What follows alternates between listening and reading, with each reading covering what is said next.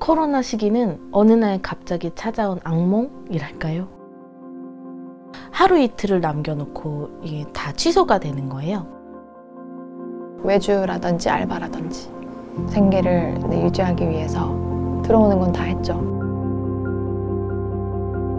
어, 제가 어떤 학생을 만났어요. 코로나 때문에 합주 경험이 없다고 하더라고요. 여러 명이서 모여서 연주하는 활동은 전부 다 하지 못하는 그런 상황이었습니다.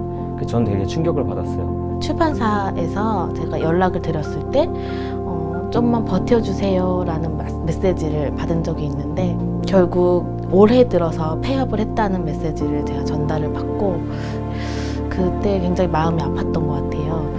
제가 막 엄청 힘들다고 하기에는 너무 힘든 분들이 많았기 때문에 그분들에 비하면 사실 힘든 게 아니었던 것 같고 포스터나 이런 것들 디자인했을 때 그 공연이 실제로 안 되거나 뭐 취소가 되거나 이럴 때 좀 슬펐던 거 안타깝고 답답한 것들도 있어요.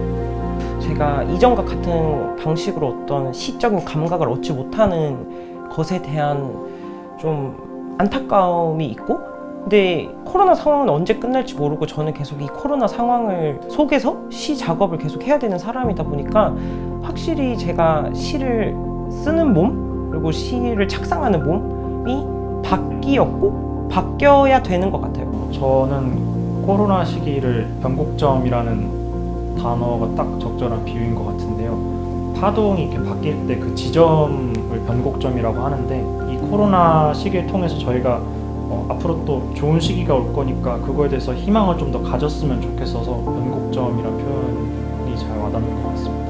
저는 코로나의 시기를 기다림의 시기라고 생각을 합니다. 이 시기가 힘들긴 하지만 언젠가 끝난다는 걸 알고 있잖아요. 그리고 그렇게 믿고 있고요.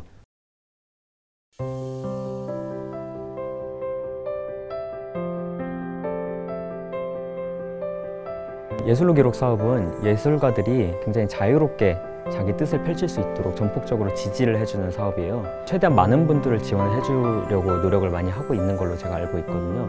코로나19를 극복하는 데 있어서 굉장히 큰 도움이 되는 첫 발걸음으로 소개를 하고 싶어요. 제 창작 활동에 다시 한번 시동을 걸면서 굉장히 활기를 띠게 됐죠. 제가 직접 어떤 그 전시를 기획하고 어떤 책들을 만들어가고 이런 것들을 다른 어떤 채널과 소통을 할 수 있을까 하는 것들을 찾다 보니 예술로 기록이 제가 생각했던 것과 가장 매칭이 잘 되었던 부분인 것 같아요. 예술로 기록 사업에 선정되고 나서는 좀 더 효과적인 방식으로 어, 제 감각, 시를 작업하는 방식 이런 것들을 좀 차분하게 기록해 나간다는 점이 되게 좋은 영향을 미친 것 같습니다.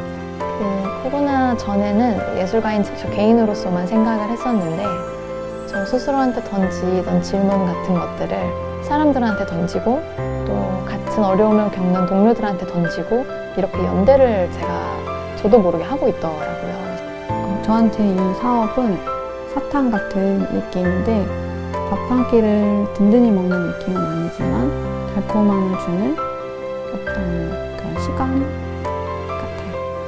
앞으로 저의 예술의 어떤 가치를 조금 더 다른 방향으로 제시를 해준 그런 마중물 같은 존재라는 생각이 들었어요. 어, 이 사업을 통해서 제가 앞으로 어떤 작업을 어떻게 더 이끌어 갈지가 정확하게 잡힐 것 같아요. 언제까지고 지금 힘들고 이런 우울한 감정에 사로잡혀 있기보다는 내가 할 수 있는 최선의 방법들 그런 창의적인 시도들에 좀 더 힘을 쏟는다면 조금 더 긍정적이게 이 시기를 버틸 수 있지 않을까 그 버티는 게 아니고 살아낼 수 있지 않을까 라는 생각을 하고 있습니다.